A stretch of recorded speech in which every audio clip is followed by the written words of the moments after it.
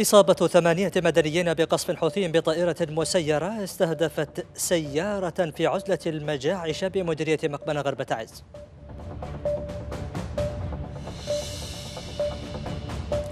قتلى وجرحى حوثيون في هجمات فاشلة للميليشيا في عدة محافظات وقائد عسكري يدعو إلى إطلاق عملية عسكرية في صعدة.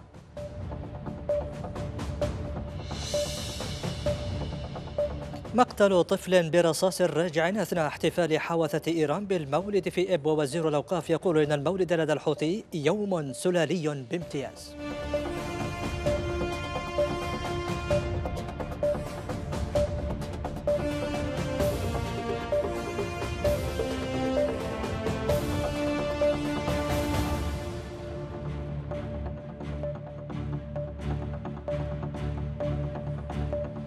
نشرة الأخبار من قناة يمن شباب يقدمها لكم عمار الروحاني. وأماني علوان. إذا البداية من عزلة المجاعش في مديرية مقبنة غرب تعز حيث أصيب ثمانية مدنيين اليوم في قصف حوثي بطيران مسير استهدف المواطنين. وقالت مصادر محلية أن ميليشيا الحوثي استهدفت عبر طائرة مسيرة سيارة كانت تقل مواطنين في وادي حمر عزلة المجاعش بمديرية مقبنة غرب المحافظة. وأسفر القصف الحوثي عن إصابة ثمانية أشخاص حالة بعضهم خطرة تم إسعافهم إلى مستشفيات حيس التابعة لمحافظة الحديدة. ويعد استهداف المدنيين بطائرة مسيرة حوثية تطورا خطيرا في الانتهاكات الحوثية يرقى إلى جريمة حرب بحسب مصادر حقوقية. إلى ذلك أكدت مصادر حقوقية خطورة الاستهدافات الحوثية للمدنيين باستخدام سلاح الطائرات المسيرة. وأكدت المصادر أن القصف الحوثي الذي استهدف مواطنين في إحدى قرى مقبنة غرب تعز أثناء انتقالهم على متن سيارة مدنية يعد تطورا خطيرا في جرائم الميليشيا الحوثية خاصة وأنه تم باستخدام طائرة مسيرة. وأكدت المصادر أن استهداف المدنيين بطائرات مسيرة حوثية هو تصعيد خطير للانتهاكات الحوثية يرقى إلى جريمة حرب وفقا للقوانين الدولية ولا يجب التساهل بمثل هذه الفظائع. ودعا حقوقيون قيادة الشرعية ممثلة بالمجلس الرئاسي إلى تفعيل العمل العسكري ردا على جرائم الحرب الحوثية المتصاعدة ضد المدنيين. هذا واستنكر أهالي قرية حمر غرب تعز استهداف قريتهم بطيران حوثي مسير في انتهاك يرقى إلى جريمة حرب. وأكد عدد من الأهالي أن ميليشيا الحوثي الإرهابية أقدمت اليوم السبت على قصف قرية حمرة في عزلة المجاعش الأهلة بالسكان بقذائف من طيران مسير ما أسفر عن سقوط ضحايا في صفوف الأهالي الذين عادوا مؤخرا إلى القرية بعد سنوات قضوها في مخيمات النزوح. وأسفر القصف عن إصابة عدد من المدنيين من بينهم مطيع فواز قايد ودبوان قايد وحامد سالم وعبد الرحمن محمد سيف ومحمد يوسف محمد. تم نقلهم إلى مستشفى أطباء بلا حدود في مدينة المخا. وأثار القصف الذي استهدف القرية الهلع لدى الأهالي خصوصا الأطفال والنساء. هذا وتتعمد ميليشيا الحوثي استهداف القرية لتهجيرهم منها وإعادتهم مجددا إلى مخيمات النزوح والتي تخلصوا منها عقب تحرير مناطقهم مؤخرا كما يقول الأهالي رصدت كاميرا يمن شباب في تعز إصابة الطفلتان الشقيقتان ندى ونداء اللتان أصيبتا في نفس اللحظة بانفجار لغم حوثي كما وثقت كاميرا يمن شباب. في هذا التقرير مكان وقوع الحادثة في حي الدعوة شرقي المدينة. جريمة جديدة للإرهاب الحوثي. انفجار لغم أرضي زرعته الميليشيا في حي سكني شرقي مدينة تعز. انفجار أصاب الشقيقتين نداء وندى وأدى لبتر أطرافهما وتعرضهما لإصابات متفاوتة. إحنا نجهز المسنة للغداء وهذا ما فيش معنا غاز. نزلنا البنات عشان يدل لنا غاز يعني حطاب نصلحها الغداء نجهز لصلاة الجمعة عيد المسلمين يعتبر له الحمد. آه، فجأة يعني نسمع انفجار شوية الجيران صيحوا لي قالوا بناتك إذا إعلان حادث تعال شوف وين وين هنا حي الدعوة. وهذا موقع الحادثة بالتحديد. منطقة زرعتها الميليشيا بالألغام قبل تقدم قوات الجيش وتحرير المكان. دحرت الميليشيا وبقيت أسلحتها تحصد الأرواح. آثار الجرائم الإرهابية للحوثيين باقية لتشهد على تواطؤ المجتمع الدولي مع الانتهاكات ضد المدنيين في زمن الهدنة أو خارجها. القنص المستمر وزراعة الألغام المستمرة وكذلك الحصار الذي يعانيه أبناء تعز إلى هذه اللحظة. ولم يتم تنفيذ أي من بنود الهدنة فيما يتعلق بفتح الحصار والتخفيف من المعاناة الإنسانية ومعاناة أبناء تعز. الهدنة هي تعتبر بمثابة إعلان حرب لأبناء تعز. كل الطرق لإيقاف إرهاب الميليشيا المتمثل بالقتل والتنكيل ضد ملايين اليمنيين باءت بالفشل. يتنافس الحوثيون على الجريمة ولا حياة لهم إلا على مشاهد الدمار والمعاناة. انتهت الهدنة ورفض الحوثيون تمديدها وهذا حال تعز لم يتغير. انتهاكات مستمرة وطرق ما تزال مغلقة حتى الآن. والخيار العسكري هو الحل الذي يرغب أبناء المدينة بتحقيقه من أجل دحر الانقلابيين. أيمن قائد يمن شباب تعز. هذا وكانت محافظة تعز قد شهدت قصفا حوثيا جديدا على الأحياء السكنية والقرى وهجمات على مواقع الجيش خلال الساعات الماضية في جنوب وشرق وغرب المحافظة وفق مصادر عسكرية. وأشار المركز الإعلامي للقوات المسلحة إلى اندلاع مواجهة الساعات الماضية في جبهة صبر المواد بجنوب شرق تعز واستخدم فيها مختلف أنواع الأسلحة. وأضاف أن قوات الجيش مسنودة بالمقاومة الشعبية أحبطت محاولة التسلل للميليشيا الحوثية باتجاه مواقع عسكرية في منطقة العريش شرق مدينة تعز تزامن هذا مع قصف مدفعي شنه الجيش الوطني مستهدفا مواقع وتحصينات للميليشيا في مديرية مقبنة غرب تعز وذلك عقب هجوم شنه الحوثيون على تجمعات سكنية بذات المديرية. وقال المركز أن الأحياء السكنية شرق المدينة تعرضت لقصف من قبل الميليشيا المتمركزة في تباب سلال والجعشة وصفتال دون ذكر تفاصيل حول ما أسفر عنه هذا القصف.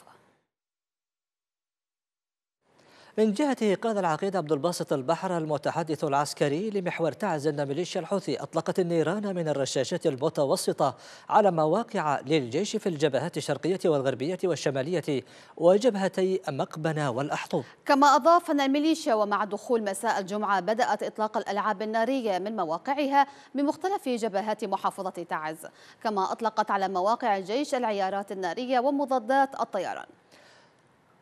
وأضاف البحر أن ميليشيا الحوثي أتبعت ذلك بشن قصف مدفعي على مواقع الجيش والمقاومة في جبهة الأحطوب غرب محافظة تعز وأشار إلى دفع الميليشيا بتعزيزات عسكرية للحوثيين باتجاه الجبهة الغربية وجبهتي الضباب ومقبنة ضمن تصعيد مستمر منذ خمسة أيام تلت انتهاء الهدنة يوم الأحد الماضي. عسكريا حيث تواصل قوات الجيش الوطني صد هجمات مكثفة تشنها ميليشيا الحوثي الإرهابية على مواقع الجيش في عدد من جبهات القتال بصعدة ومأرب وتعز ولحج والضالع وأبين والحديدة. ووفق مصادر عسكرية فإن الميليشيا شنت عملية هجومية على مواقع الجيش غربي محافظة صعدة باءت بالفشل. وقال المركز الإعلامي للقوات المسلحة إن قوات الجيش صدت عملية هجومية شنتها ميليشيا الحوثي على مواقع عسكرية في جبهة الثابت شمال غرب صعدة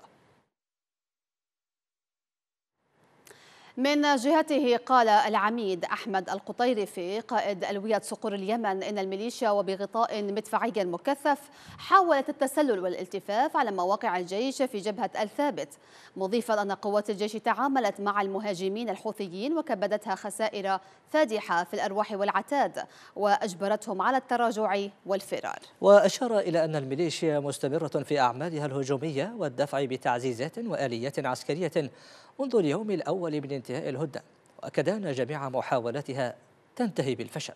نعم القائد العسكري أكد أن ميليشيا الحوثي لا تقبل بالسلام ولا تؤمن به ومحاولة الحوار معها مضيعة للوقت. ودعا قائد ألوية صقور اليمن إلى إطلاق عملية عسكرية واسعة وشاملة بهدف تحقيق الحسم العسكري واستعادة الدولة ومؤسساتها المختطفة. إلى مأرب الآن حيث أفادت مصادر عسكرية بمقتل خمسة من ميليشيا الحوثي الإرهابية في مواجهة مع الجيش الوطني. وقالت مصادر ميدانية أن عناصر الميليشيا سقطوا في معارك شهدتها الجبهة الجنوبية لمحافظة مأرب. وفي سياق سابق ووقت سابق أعلن الجيش الوطني إسقاط طائرتين مسيرتين تابعتين للميليشيا في جبهة مأرب. وقال المركز الإعلامي للقوات المسلحة في تغريدة له على موقع تويتر إن الدفاعات الجوية للجيش الوطني أسقطت طائرتين مسيرتين في الجبهة الجنوبية لمأرب خلال الساعات الأربع والعشرين الماضية. أما في محافظة الضالع فقد استهدفت قوة الجيش آلية عسكرية تابعة لميليشيا الحوثي الإرهابية شمال غرب المحافظة. مصدر عسكري قال اليوم الشباب إن الآلية الحوثية جرى استهدافها في جبهة حجر ونجم عن هذا الاستهداف. تدمير الآلية الحوثية ومقتل وإصابة من كان على متنها من عناصر الميليشيا. يأتي ذلك عقب ساعات من اشتباكات بالأسلحة المتوسطة بين الجيش وميليشيا الحوثي في جبهة غلق شمال مديرية قعطوة في أبين استهدفت ميليشيا الحوثي الإرهابية مواقع المقاومة في جبهة ثرى بمكيراس شمالي المحافظة خلال الساعات الماضية وفق مصدر ميداني. كما قال المصدر إن الميليشيا حاولت التسلل باتجاه موقع العلب في جبهة ثرى رافق ذلك الدفع بعناصرها مع إطلاق الألعاب النارية ضمن احتفالاتها بالمولد في مسعى للتغطية على تحركاتها العدائية. وأضاف المصدر أن قوات المقاومة شنت قصفا استهدف تحركات الميليشيا وأوقع قتلى وجرحى في صفوفهم. يتزامن هذا التصعيد الحوثي في جبهة ثيرا مع هجمات مكثفة تشنها الميليشيا على مواقع المقاومة في جبهة الحاد يافع في محافظة لحج. يهدد التصعيد العسكري لميليشيا الحوثي الإرهابية الأوضاع التي فاقمتها الحرب التي تشنها على الشعب اليمني منذ ثمان سنوات. وها هي اليوم تهدد باستهداف شركات النفط ووكالة الملاحة الدولية ضمن عدوانها المستمر. يهدد التصعيد العسكري لميليشيا الحوثي ورفضها تمديد الهدنة فضلا عن تهديدها بضرب خطوط الملاحة الدولية والمنشآت النفطية. يهدد بتعقد الأوضاع الاقتصادية والمعيشية وارتفاع تكلفة الأعباء التي تحيط بالاقتصاد اليمني. ومع استمرار الحرب في عامها الثامن دون وجود أي أفق للحل باتت البلاد في دوامة الجوع والمجاعة وارتفاع تكاليف الإنتاج والأعباء المعيشية التي أرهقت المواطنين والسكان وأثخنت الحرب التي أشعلتها ميليشيا الحوثي جراح اليمنيين وفاقمت من تدهور الوضع المعيشي حيث ارتفعت معدلات الفقر والبطالة والمجاعة إلى درجات غير مسبوقة. وتلقى الاقتصاد اليمني ضربات موجعة ناتجة عن عمليات تقويض مؤسسات الدولة والاستيلاء على الموارد والإيرادات وتجيير هذه المؤسسات لصالح ميليشيا الحوثي. فباتت المناصب غنائم تتقاسمها عائلات واستبدل الوعاء الإيرادي الرسمي في البلاد بأوعية أخرى كان لها أثر بالغ على الاقتصاد. ومع تغول الفساد الحوثي تضررت مختلف القطاعات فتعطلت معظم القطاعات الخدمية في البلاد الكهرباء والمياه والصحة وتوقفت الرواتب عن قطاع عريض من موظفي الدولة. بينما توقفت مئات المشافي الحكومية عن تقديم معظم الخدمات الصحية والطبية وبات جل ما تقدمه خدمة طوارئ وإن زاد ففي جوانب معينة وبدرجة محدودة. وترسم تقارير اقتصادية عديدة محلية ودولية صورة قاتمة لمستقبل اليمن بعدما عبثت به الحرب الطاحنة التي عصفت به منذ ثمان سنوات. وتسببت في تعطيل وتدمير حياة اليمنيين وأسرهم والبنية التحتية ونقص حاد في الغذاء ووسائل الحياة الأخرى. وفي أكبر أزمة إنسانية على مستوى العالم عادت أجواء الحرب مرة أخرى بعد انتهاء المدة الزمنية للهدنة بين الحكومة الشرعية وميليشيا الحوثي دون التوصل إلى اتفاق لتمديدها. في ظل رفض ميليشيا الحوثي مقترح المبعوث الأممي هانس غورندربرغ لتمديد الهدنة. شددت إيزابيل كولمان نائبة مدير الوكالة الأمريكية للتنمية الدولية على ضرورة التوصل إلى اتفاق بشأن سرعة تمديد الهدنة في اليمن تفاديا لمجاعة وشيكة. وقالت كولمان إن على ميليشيا الحوثي الإرهابية الانخراط بالمفاوضات التي ترعاها الأمم المتحدة للتوصل إلى تمديد الهدنة التي أثمرت في تقديم الإغاثة المنقذة لحياة ملايين اليمنيين. وأشارت نائبة الوكالة الأمريكية في تغريدة على حسابها في تويتر أن 19 مليون شخص في اليمن يواجهون يواجهون أمنا غذائيا حادا.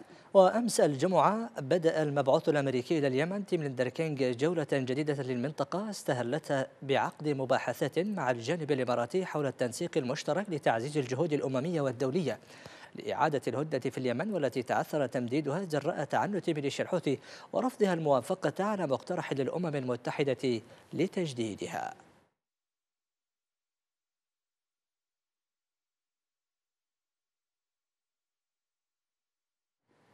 إلى محافظة إب حيث نفذت ميليشيا الحوثي الإرهابية اعتداء على عدد من العمال ضمن انتهاكات مروعة بحق السكان في المحافظة. ووثق مقطع فيديو تداوله ناشطون لحظات اعتداء مرافق القيادي الحوثي بندر العسل على عدد من العمال الذين يعملون في إحدى الأراضي في شارع الثلاثين الأربعاء الماضي. نعم يأتي ذلك بعد يوم على اختطاف الميليشيا لنشط نشر تسجيلا يوثق اقتحام عناصرها لمستشفى الثورة أكبر مشافي المحافظة واعتدائها على طبيب أثناء إسعاف أحد قيادتها تعرض لحادث سير. وتشهد محافظة إب انفلاتا أمنيا وتكرارا لجرائم القتل والنهب والسرقة تقف خلفها عناصر ميليشيا الحوثي الإرهابية. هذا وسقط جرحى جراء اشتباكات مسلحة بين عناصر حوثية شهدها أحد أحياء مدينة إب. وذلك بعد يوم من اشتباكات مماثلة بذات المدينة. وأفاد سكان محليون أن الاشتباكات اندلعت في حارة مستشفى ناصر بمدينة إب عقب خلافات داخلية بين عناصر الميليشيا ما أدى إلى سقوط عدد من الجرحى. كما تسببت الاشتباكات بحالة من الرعب والهلع والخوف في أوساط الأهالي خصوصا الأطفال والنساء بالإضافة إلى وقوع أضرار مادية بعدد من الممتلكات. يأتي هذا بعد يوم من اشتباكات ومواجهات اندلعت بين مسلحين من أهالي حي جبل الشجاع في ظل فوضى أمنية غير مسبوقة تشهدها المحافظة. قالت مصادر محلية في محافظة إب أن طفلا قتل برصاص راجع من احتفالات ميليشيا الحوثي بالمولد الذي حولته الميليشيا إلى موسم للتكسب. والسرقات. وبحسب المصادر فإن الحادثة وقعت في حي جامع البر بمديرية الظهار بمدينة إب أثناء إطلاق عناصر حوثية النار في الهواء بالتزامن مع ألعاب نارية بذكرى المولد. وتلجأ الميليشيا الحوثية لتوظيف المناسبة والتحشيد فضلا عن فرض الجباية المالية رغم الوضع المعيشي الصعب الذي يعانيه اليمنيون. ويقول مراقبون إن احتفاء ميليشيا الحوثي بمناسبة المولد هو نوع من البحث عن مشروعية سياسية تفتقر إليها وتغلفها دينيا بالمولد النبوي لدغدغة مشاعر البسطاء. وفي محافظة إب أيضا أجبرت ميليشيا الحوثي الإرهابية المدارس الحكومية في مركز المحافظة على الدفع بالطلاب لحضور فعالية لها بمناسبة المولد النبوي التي من المرتقب إقامتها مساء اليوم. مصادر تربوية قالت أن الميليشيا أرغمت المدارس على إجبار الطلاب في المشاركة في فعالية المولد النبوي والمقرر إقامتها مساء اليوم في حرم جامعة إب وسط المدينة. نعم وأضافت أن إيرادات بعض أو إدارات بعض المدارس وتحت ضغوط الميليشيا ألزمت الطلاب بالحضور ظهر اليوم لمقر المدارس والانطلاق منها إلى ساحة الاحتفال وهددت المتغيبين بالفصل. ومنذ انقلابها على السلطة في سبتمبر من العام 2014 عمدت ميليشيا الحوثي إلى استخدام المناسبات الدينية للتحشيد ونشر أفكارها الطائفية.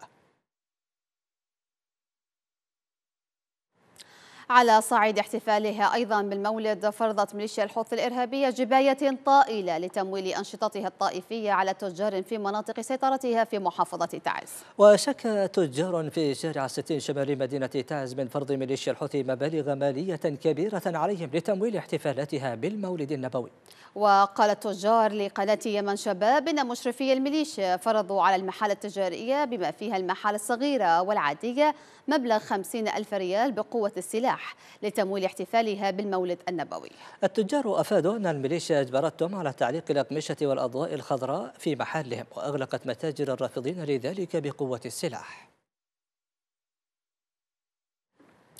قال وزير الأوقاف والإرشاد محمد بن عيضة شبيبة أن ميليشيا الحوثي الإرهابية يحتفلون أو تحتفل هذه الميليشيا بالرسول في يوم مولده كأب لا كرسول.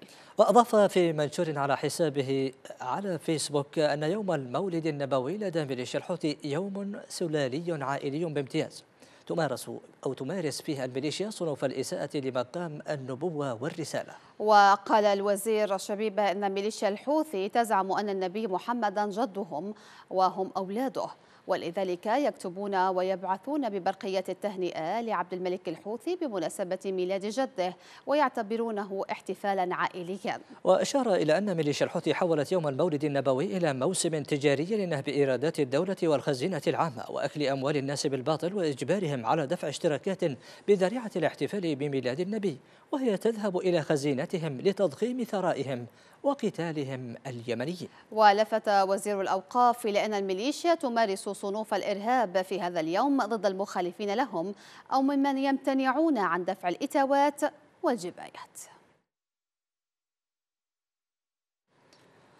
اعتقلت الشرطة الباكستانية أربعة مبتعثين يمنيين إثر بلاغ تقدمت به السفارة اليمنية في إسلام أباد وفق بيان توضيحي أصدره الاتحاد العام لطلاب اليمن في باكستان. للجهة الرسمية وللرأي العام نشره أمس الجمعة. نعم ووفق بيان الاتحاد فإن سفير اليمن في باكستان قال إن وزارة الداخلية الباكستانية ألغت فيزا خاصة بالمبتعث لدراسة الماجستير أحمد مسعد الصباري بناء على وجود قضية أمنية ضده. بينما نفت الوزارة ذلك وقالت إن ردها للاتحاد إن المبتعث يوجد ضده بيان من سفارة بلاده. وأوضح البيان أن السفارة اليمنية في باكستان طلبت لاحقا توقيعا من المبتعث الصباري على تعهد واعتذار للسفير محمد مطهر العشبي والتوقف عن المطالبة بحقوقه وحقوق الطلاب حتى تتحرك لإعادة الفيزا ولاحقا استدعت السفارة الشرطة الباكستانية واقتادت ثلاثة من المبتعثين ممن كانوا يراجعون السفارة إلى السجن وفقا لبيان الاتحاد الذي طلب السفارة القيام بواجبها وسحب البلاغ عن الطالب والعمل بشكل عاجل ومكثف لاستعادة فيزته في أقرب فرصة ممكنة. كما طالب الاتحاد وزارة الخارجية ووزارة التعليم العالي والحكومة ومجلس القيادة الرئاسي باتخاذ إجراءات عاجلة تجاه هذه التصرفات التي تناقض تماما مسؤولية عمل واختصاص البعثة الدبلوماسية التي من صميم عملها حماية رعاياها وليس الإبلاغ عنهم واقتيادهم إلى أقسام الشرطة بذلك الشكل المهم.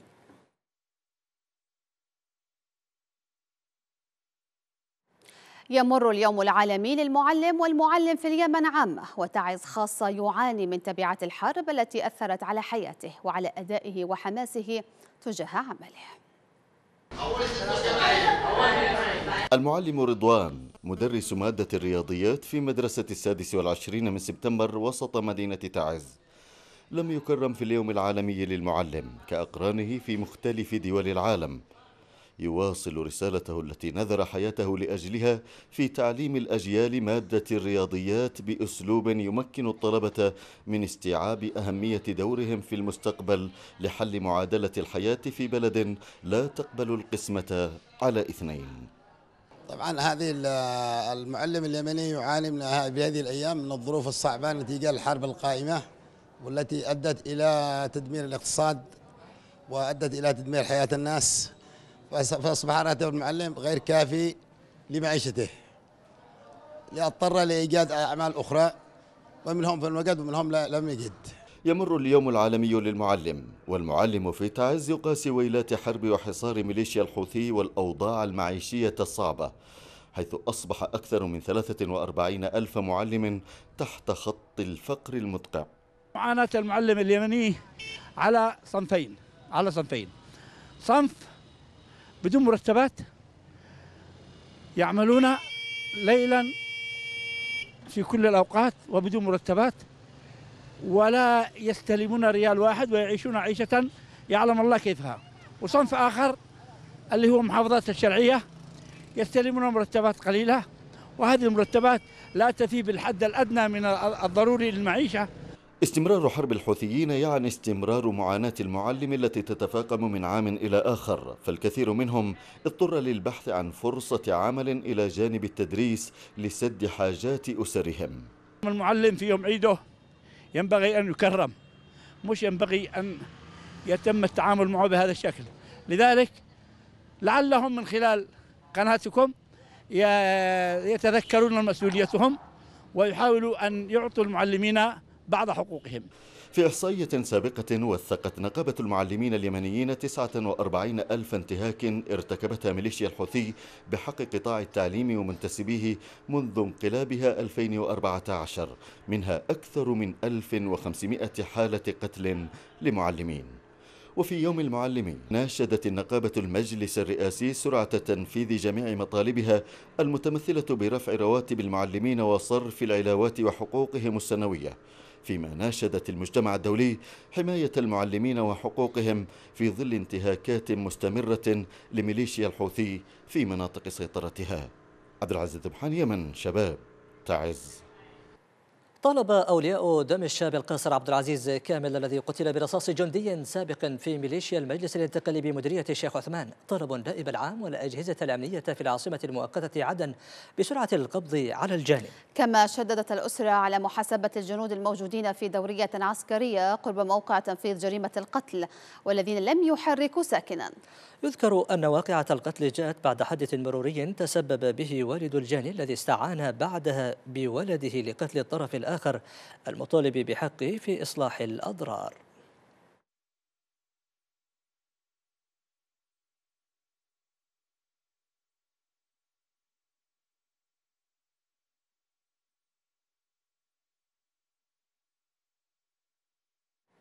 ينتظر منتخبنا الوطني للناشئين غدا الأحد لقاء الحسم مع البلد المستضيف بنغلاديش في آخر مباريات للتصفيات الآسيوية ضمن المجموعة الخامسة وسط طموحه بالتأهل كمتصدر لمجموعته بالعلامة الكاملة وبشباك نظيفة. على مقروبة من خطف بطاقة التأهل إلى نهائيات كأس آسيا تحت 17 سنة 2023 حقق المنتخب الوطني للناشئين فوزا ساحقا وهاما على نظيره سنغافورة في اللقاء الذي جمعهما لحساب الجولة الثانية من التصفيات الآسيوية. بدأ اليمن اللقاء مهاجما من الدقائق الأولى في خطوة إرباك الخصم والسبق في إحراز هدف أول يعطي دافعا للاعبين بالاستمرار برتم قوي.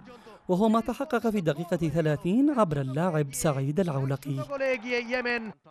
سيطر منتخبنا الوطني للناشئين على مجريات اللعب وخاصة بعد منتصف الشوط الأول.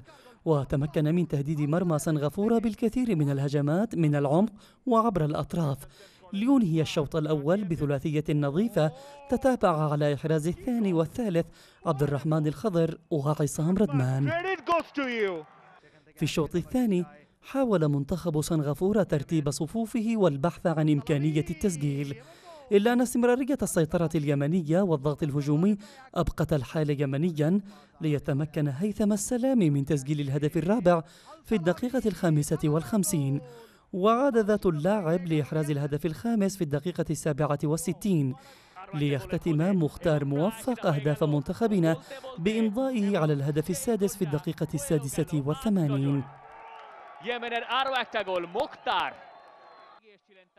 وينتظر منتخبنا لقاء الحسم مع البلد المستضيف بنغلاديش وسط طموح المنتخب من تجاوزه والتأهل كمتصدر للمجموعة الخامسة بالعلامة الكاملة وبشباك نظيفة.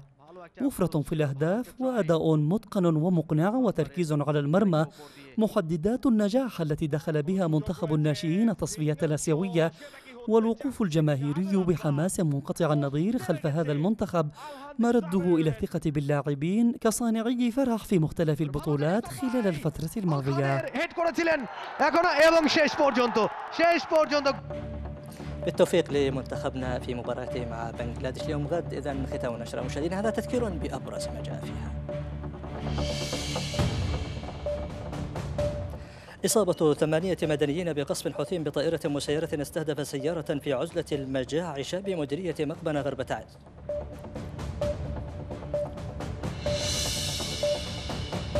قتلى وجرحى حوثيون في هجمات فاشلة للميليشيا في عدة محافظات وقائد عسكري يدعو إلى إطلاق عملية عسكرية في محافظة صعدة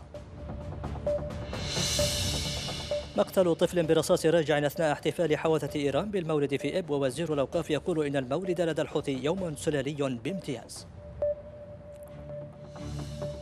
إذا نشكركم طيب المتابعة دمتم ودام الوطن بألف خير. في أمان الله.